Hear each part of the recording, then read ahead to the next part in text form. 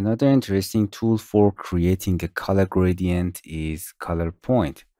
You have to create a point holding shift and create a simple shape. Uh, when you change the fill color, you can change the after mm, you have to select the shape and then you can change the fill color and it's changing the uh, color of uh, all the color of the um, object.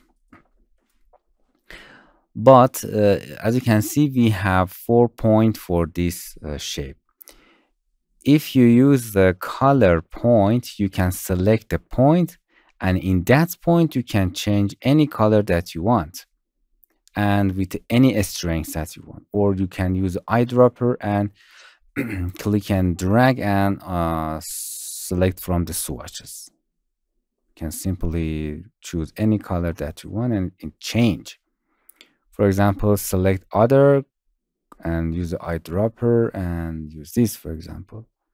Or this point select this color. Oh surface you can click this. And as you can see, in any point with any strings, you can choose any color that you want.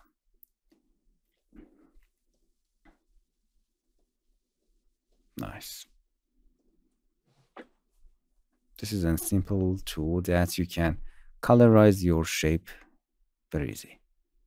Hello my friends, to continue these tutorials on YouTube, subscribe us, like us, and hit the bell icon. And now you will be alerted about all of the amazing videos that we release.